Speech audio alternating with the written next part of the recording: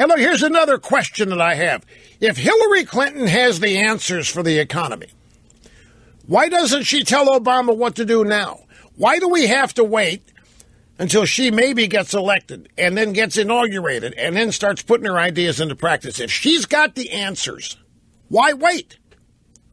Why doesn't she make an appointment with Obama, go into the Oval Office and say, Barack, this is what we need to do to fix the economy? To which he's going to say, uh, there's nothing wrong.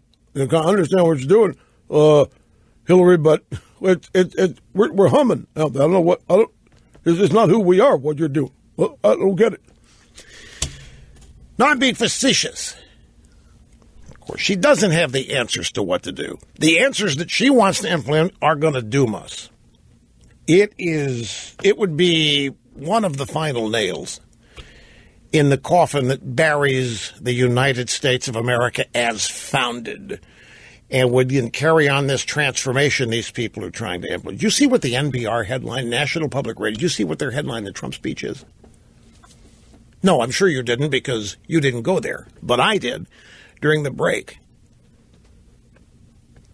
They headline at NPR. They just posted it. Trump just gave the speech Republicans have been waiting 20 years to hear. It's the speech Republicans have been itching to hear in a crystallized way since the 1990s. Trump gave them exactly what they wanted and likely quelled some fears about his candidacy.